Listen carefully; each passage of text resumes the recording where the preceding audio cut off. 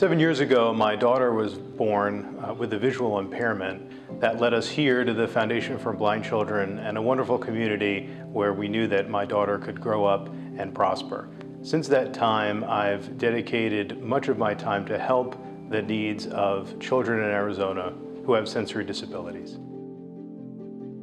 Currently, I'm the only person that sits on the boards of both the Foundation for Blind Children and the Arizona State Schools for the Deaf and the Blind. While on these boards, I've helped out with a number of initiatives, including the building of the FBC campus, which is now one of the largest schools for the visually impaired in the country.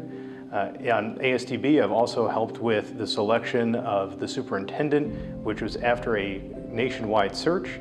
Uh, this new superintendent has been able to imp implement new curricula throughout the schools, as well as implement new ways of teaching children in rural areas of Arizona. Last November, I was a guide for one of 12 blind high school students that sailed from Puerto Rico around the Spanish Virgin Islands. These students had no previous sailing experience and spent several months training on, on Lake Pleasant to become sailors.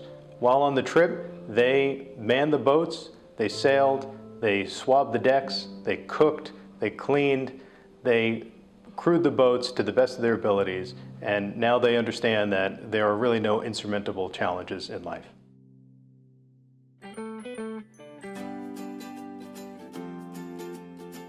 The craziest thing I've ever done uh, for someone who doesn't know how to swim and still doesn't know how to swim and doesn't know how to sail, agreed to help 12 blind high school students learn to sail and take them to Puerto Rico as a, a sighted guide on the Blind Buccaneers trip.